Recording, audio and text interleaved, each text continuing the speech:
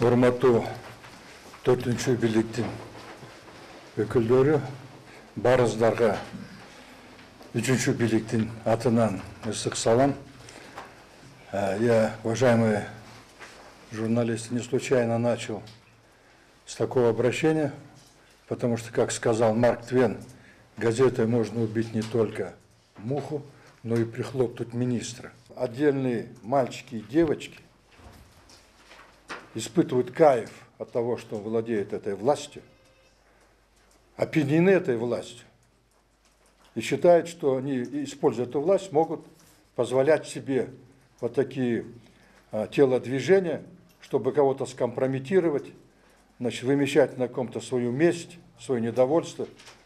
Но, как вы знаете, за опьянением наступает похмелье.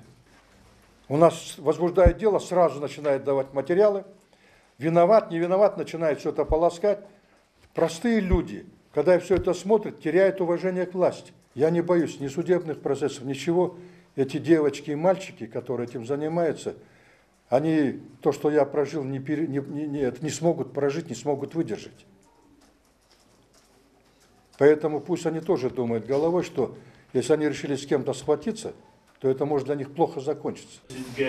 Ушундай кара пиярдын болушу буну саясий мотив деп ойлойсузбу Мен ачык айттым, что ушул жерде саясаттын момент бар.